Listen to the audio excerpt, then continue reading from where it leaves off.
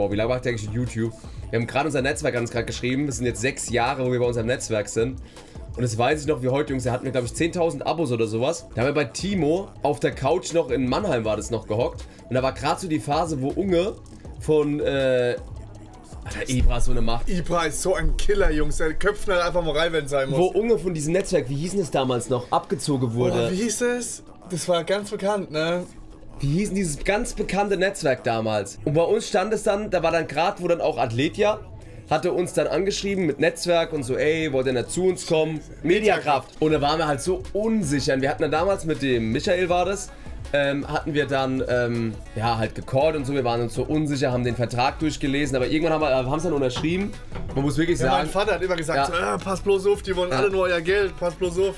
Aber man muss wirklich sagen, Jungs, das war die beste Entscheidung unseres Lebens. Auch ohne die wären wir wahrscheinlich heute auch, wären wir heute nicht da. Ohne die wären wir heute Ja, nicht da, wo ne, wir sind. safe. Weil die waren immer mega korrekt. Und ich weiß noch, wir haben dann erste Gamescom war das dann, 2016, war das die Gamescom? Ja, 2016, da hatten wir 20.000 Abos. Und da war das mit dem TZ Money Cup, wir hatten so ein bisschen Beef gehabt, ja, mit äh, Pro. Und es war komische Stimmung da, ne?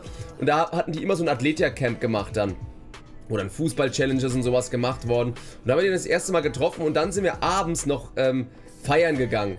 Und per Zufall haben wir dann vor dem Club diesen Michael auch getroffen, ne? Und halt auch direkt gut verstanden und so.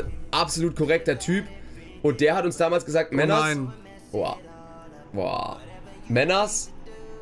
Fangt an zu streamen, YouTube pusht es. Was bringt ein Netzwerk? Was genau ist das eigentlich? Also, im Ende, am Ende des Tages bräuchtest du gar kein Netzwerk. Ein Netzwerk, da bist du sozusagen unter Vertrag. Die ähm, bekommen dann von YouTube das Geld ne, und bezahlen es dir weiter. Und du gibst einen gewissen Prozentsatz ab, dass die für dich Placements ranholen, dass die für dich, ähm, äh, sag ich mal, deinen Kanal managen, ne, dir bei Rechtsfragen helfen, ja.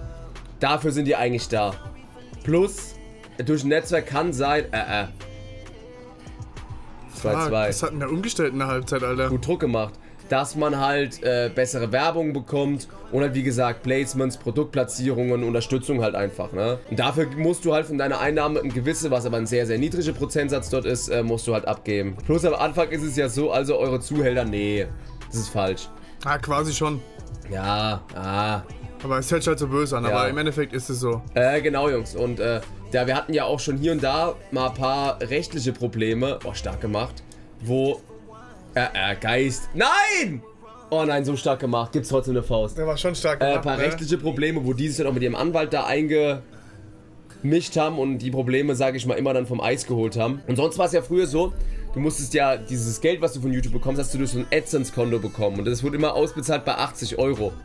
Durch so ein Netzwerk hast du halt jeden Monat, auch wenn du nur 40 Euro verdient hast, das Geld auch gekriegt. Und habt ihr nur 40 Euro gehabt? Ey, Digga, am Anfang von YouTube.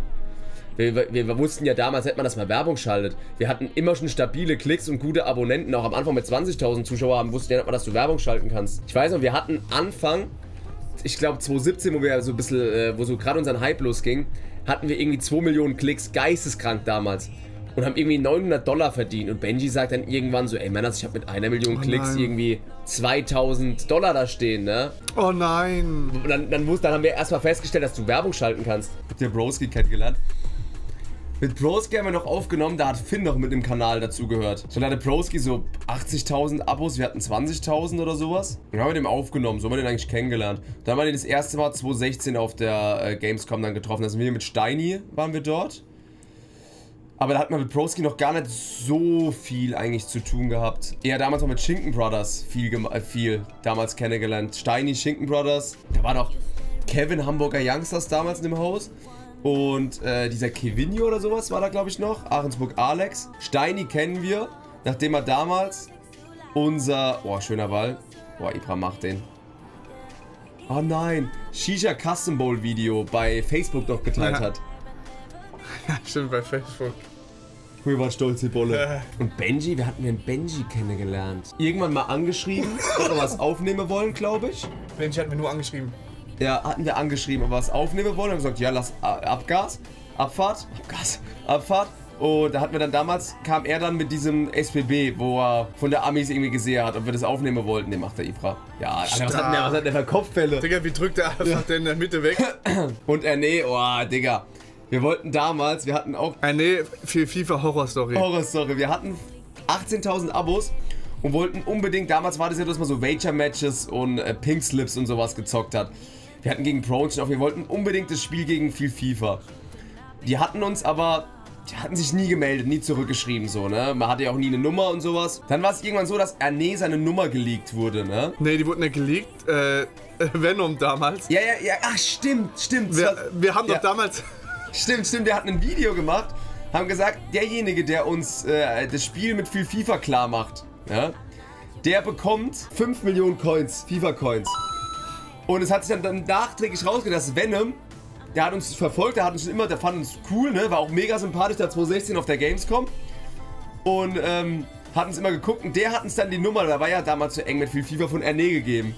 Und dann hat mir den angerufen und dann ist halt damals hatten die uns halt, boah, wie viel Mal haben die uns versetzt? Drei, vier Mal. Wo es immer hieß, heute nimm mal auf. Ich nach Mannheim zur Timau hochgefahren. Ah, nicht mal gemeldet, heute geht's doch leider nicht. Nächsten Freitag.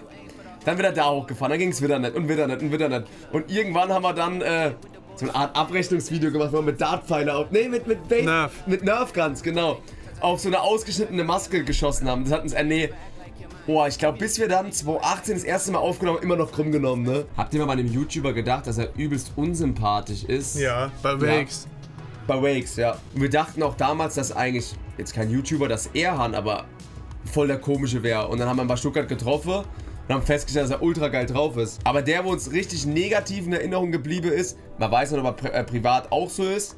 Wir haben nie privat kennengelernt, war aber hier Kubanito. Der postet auch mittlerweile so ganz komische Verschwörungstheorie, habe ich gesehen. Ja, wo? Ja, ganz mysteriös auf Insta. Habt ihr das, wurde der gehackt chat oder? Wow. Teilt er Videos von irgendwelche Aluhüteträger und sowas.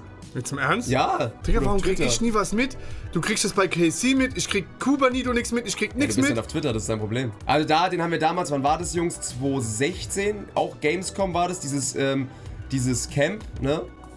Wow. Dieses äh, Fußballcamp, wo wir halt so Fußball-Challenges hatten und der hat halt so, der war nie pünktlich, war dann weg und so, nee, das will er nicht aufnehmen. War einfach irgendwie, kam, kam unsympathisch rüber so, wisst ihr? Kann man natürlich, wir haben nie, ähm, wir haben ihn nie persönlich kennengelernt, das weiß man nicht, aber Was hat KC gemacht? Nix. Simon hat nur gesagt, ah, er hat nachts bei mal reingeguckt und da hat er gesehen, dass er 9,8 stand oder so es war irgendwas. nicht nachts, es war sogar morgens, als ich mit dem Hund raus war. Ähm, und da ist halt eben. So, jetzt guck ich das mal. an. Kubanito oder was? Ja, ich meine, das war letztes Mal bei Twitter, hatten die das reingehauen. Ich verfolge den so gar nicht. nee, okay, Insta ist nix. Hatte, hatte der in der Insta-Story aber drin. Ah, in der Story. Ja, aber das wird ja jetzt wieder draus. Das ist schon ewig her. Zwei Wochen her oder so. Der hat, glaube ich, weiß gar nicht, wir hatten den Tweet gemacht. War das Julius oder so, was er den gemacht hat? Gesagt, was geht denn da ab in seiner Story? Ja, mit Wakes damals, der war halt irgendwie, ich weiß nicht, Wakes war damals irgendwie, ist man auf keinen grünen Nenner gekommen, ne? Ja, war ja auch damals, glaube ich, noch das mit Benji und, ähm, Mit Und Steini Kuba. und ja, War da war auch- ja alles, ja, ja. irgendwie. Aber jetzt, wie gesagt, Wakes, assi korrekt. Ich meine, ent, äh, entwickelt sich auch mit der Zeit, ne? Mit Elias viel Kontakt, immer wieder mal Kontakt mit Elias halt, ne? Der hat auch immer viel zu tun, der Mann. ja, ich war irgendwas, war irgendwas komisches, Chat. Aber wie gesagt, Meinung zu Hamid Loco kennen wir auch nicht privat. Kann ich auch kann gar nichts sagen, Chat. Nie Gar gesehen, ja. nie privat getroffen.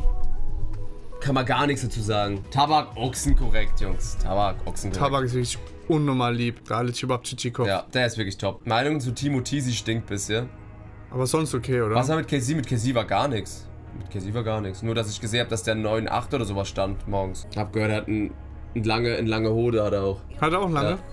Habt ihr so im Forum so Ja, die, die Schlepphunds, Langhödler, die Schla- Langhödler. Die Langhödler.